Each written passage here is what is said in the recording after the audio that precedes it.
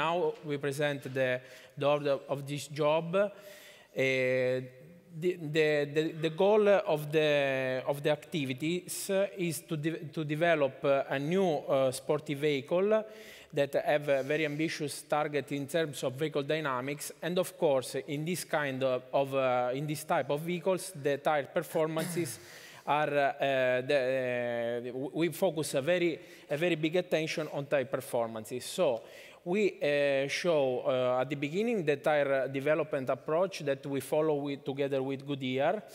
Uh, let's keep to the uh, characterization of the, of the vehicle model in order to validate the model and to, to bridge the gap between experimental session and driving simulator session, because of course this kind of activity is, uh, is done, was done on driving simulator the data post-process in order to understand if the, if the, if the results are coherent, uh, uh, are good or not, and uh, the, the observation and the next step that we uh, focus uh, on uh, for, the, for, the for the future works. Maserati, when we, but also the, the, OEM, the OEM, when starts to develop a vehicle, have, has of, of, course a target. The target coming from the, the management, the top management that decide which kind of, of vehicle wants to, to attack in terms of competitors, what is the benchmark, and what is the, the, the, the market share that uh, he wants uh, to attack. Of course, uh, the target setting, we have the, the, the target setting explained in a subjective point of view and the vehicle dynamics department has to, uh, to uh, objectivate this kind of targets in, in, in, order to understand if the, these targets in terms of uh, handling and, and ride comfort, of course, are reachable or not a, most, a most important phase of this approach is the, the, the, the, deployment of the targets coming from the vehicle side to the, to the tire side.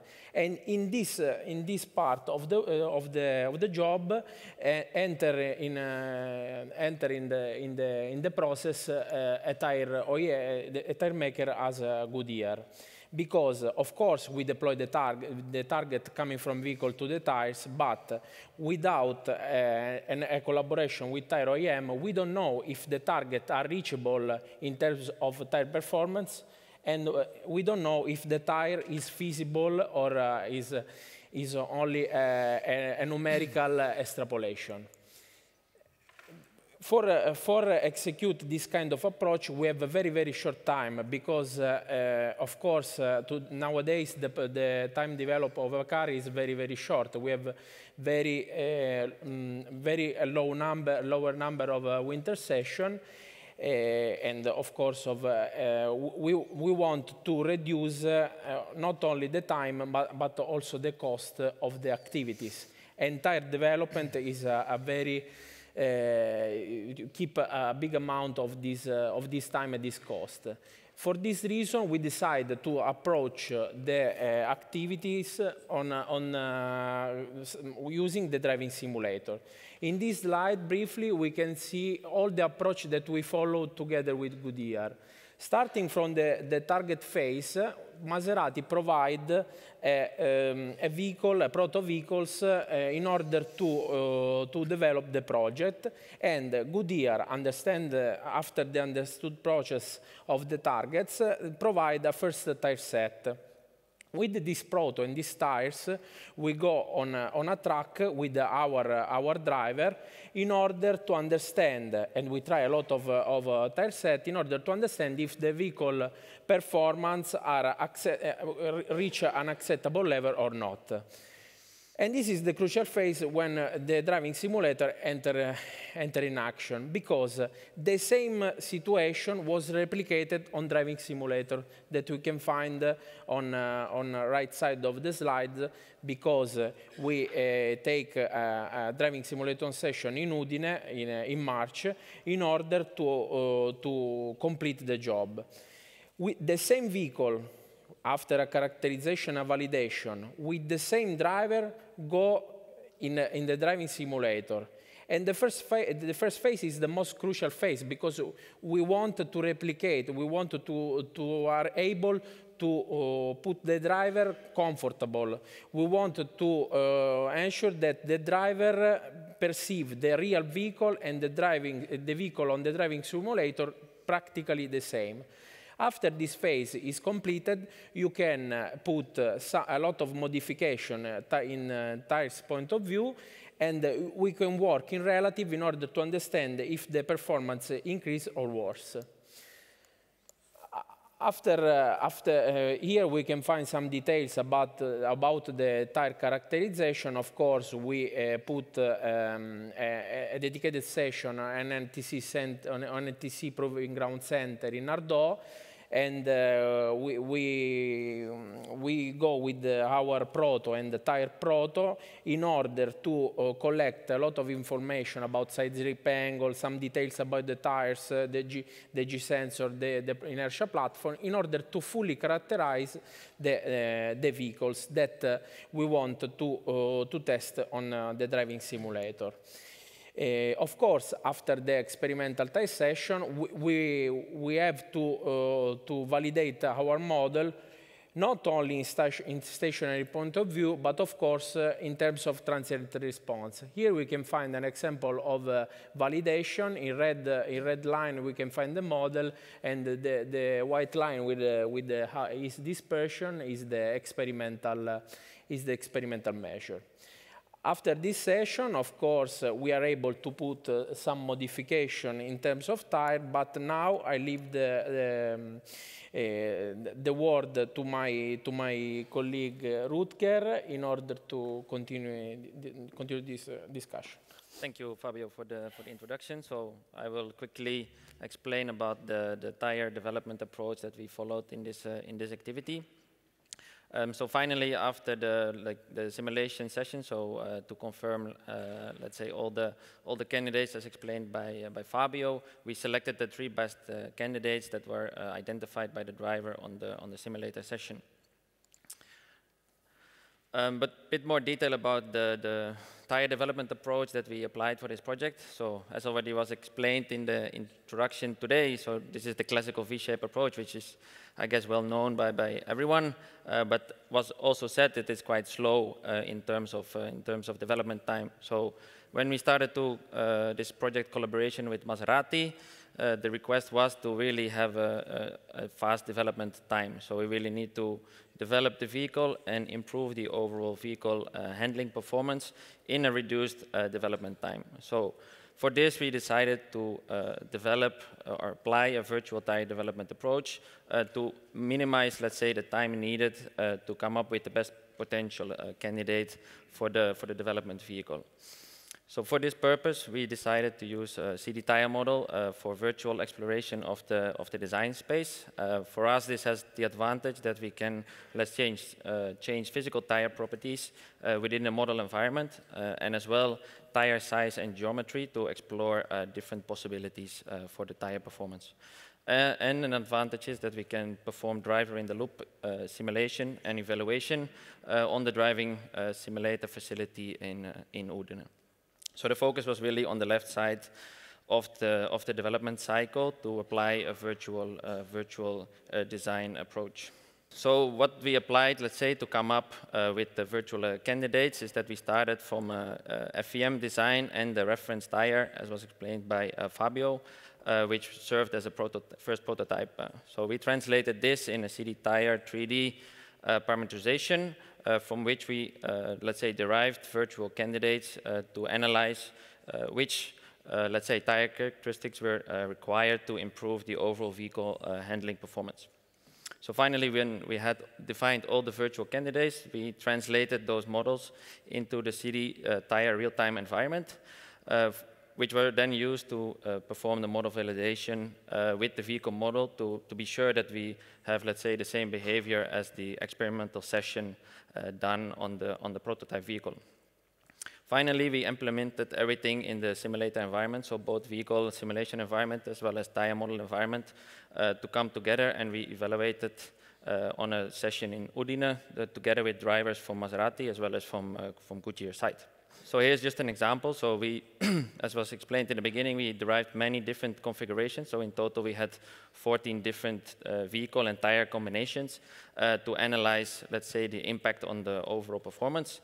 Um, so here's just a, an example of uh, three, uh, three different uh, candidates. So the reference fitment and virtual created modifications in the same size and one one example as well as where we explored uh, the impact of of a size change and, and also rim, uh, rim uh, size change. So on the right, just an example of these uh, fitments in terms of tire characteristics, so cornering stiffness for the front and the rear uh, tires used on the, on the virtual experiment.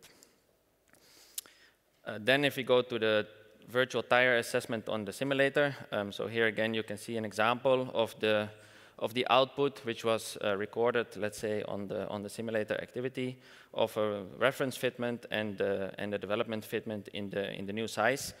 Um, so on the left side, you can see the tire operating condition. So there clearly, clearly you can see that for the, for the Z2, uh, we can see a reduction of, uh, of tire slip angle, especially on the, on the rear axle. Um, so this clearly shows that we uh, had an increase of stability uh, of the vehicle uh, on, the, on this new fitment size.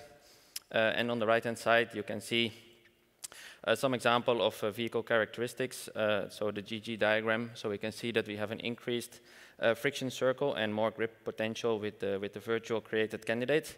and as well, that translate in a, in a let's say if we if we analyze the track lap, we can see a clear reduction of the, of the lap time for the new, uh, for the new virtual created fitment. And this was also, let's say, matching very well with the driver subjective rating, of which Fabio will go more in detail now of the, of the vehicle and the driver style behavior on the simulator. So thanks, Rutger. So uh, after these uh, details about the tires, uh, we let's skip to some details about the uh, on driving simulator. We are able, of course, to to to record all the telemetry that we, we that we that we try on this session and uh, of course, we, we, have to keep in mind these graphs because uh, uh, especially the, the, mm, the, the, graph on below right side because uh, uh, permits to us to understand the, the driver styles uh, of, of our driver. of course, we can see a peak of, of distribution of lateral acceleration until 1G. This explains that our drivers explore as much as possible possible the acceleration and keep uh, on uh, his uh, just, judgment more details about the, the values of the vehicles on high lateral acceleration with respect to, to low lateral acceleration, in, which fields, in fact, he, he, he gave a lower weight. Here we, we summarize the results uh, coming from Udine session, and we can see that the, the tire set one, with respect the reference tires, improve uh, practically um, plus one about the steering feel and a little bit the linear handling and the sporty handling. Instead, the tire set two, that uh, if we remember is a change of tire uh, wider tire on the front and on the rear, permits to uh, improve um, all the the vehicle performance is uh, practically about uh, plus one point on quality profile score. The, uh, but uh, after, uh, after this judgment, uh, the, we have to, to link the judgment with the telemetry. If, if um, if we want to understand if the, the, subjective evaluation is coherent with the objective, uh, objective measure. Here we can find some details that explain how uh, is good, uh, how, how good is the, the, the, evaluation of our, of our driver, because on the left side, we can see the, the, side, the side slip angle, and uh, of course, the tire set 2 improve uh, a, a, little bit uh, the, the, the side slip, and the improvement increase with the, the, the, increment of lateral acceleration. This is coherent with the, distribution of the, the occurrence of lateral acceleration. Our driver gave more weight in his judgment about the lateral acceleration with respect to, to the handle uh, lower acceleration. And uh, another uh, quality check that we that we done on on our driver is the is about the parameter highlighted in red because when we go to the reference tire to the tire set one, the parameter affected by the tire sides, uh, the rear the rear tire remain practically the same. Rear axle stability, rear axle response. If you remember, coming from reference tire to tire set one, the, uh, we change only the, the, the front tire not, not the rear. This is uh, an important, uh, an important, an important uh, post-process that gives to us the confidence that the, the judgment coming from the driver is, co is coherent with the measure. Here we can find some uh, details about uh, the uh, st stationary um, behavior of the three tires, or the three best candidates, as Rutger called, them, called, called them. We, we, can find that with the tire set 2, we can improve the, um, the, the side slip at the limit, but of course we can reduce the, the understeering gradient. And of course, we have a benefit uh, in terms of tire set 2, uh, also in transient behavior, because uh, we, we can improve the gain. Of course, uh, have a little bit worsening in terms of, uh, of delay, but uh, we have a big impro improvement in terms of, of gain. Uh, we, uh, we tested our uh, vehicle also in combined condition because the driver the compliant the tight tire in, uh, in combined condition and, and give plus two point in traction, uh, in traction point of view to the wider tires. Of course, these results are confirmed also by the, the simulation because we can see that in red one we have a neutral, a neutral path during, uh, um, during, uh, during cornering. In, in the point highlighted in red, we, we put a tip-in maneuver, and of course the maneuver that um, that have the uh, lower understeer, understeering, uh, understeering behavior is, um, is uh, appreciated by the driver. And of course, the, uh, this, uh, this result is confirmed by the simulation and give uh, another confidence to the driver judgment. So, uh, in conclusion, this kind of approach permits to us to have a lot of information coming from the experimental test session, and we, we, we can test a lot of situations that uh, not, uh, we cannot explore with the offline simulation. Driving simulation permits to us to, to weight the, the difference in terms, of, in terms of numerical point of view uh, with respect to the judgment of a driver. Of course, uh, the driver, um, the, the, training of the driver is, more is very important, but when we reach a, a very good level in terms of, uh, of uh, uh, quality of the judgment of the driver, you can go very fast in terms of tire, tire development, and of course, we can maximize the, the, performance, the performances. So I skip to, to Rutger for Goodyear conclusions of this. Yes, job. so just to summarize the, the work done. So uh, yes, it clearly shows that we wanted to uh, reduce the development time and come together. So we, uh, we decided to use the, the virtual tools to really bridge the gap between testing and simulation. Um, so this was really a good example uh, for us to work together with the OEM uh, directly uh, to focus really on reducing the vehicle development time and also uh, to reduce our tire prototypes, let's say physical prototypes that we need for performance improvement and to apply a more objective-based development approach.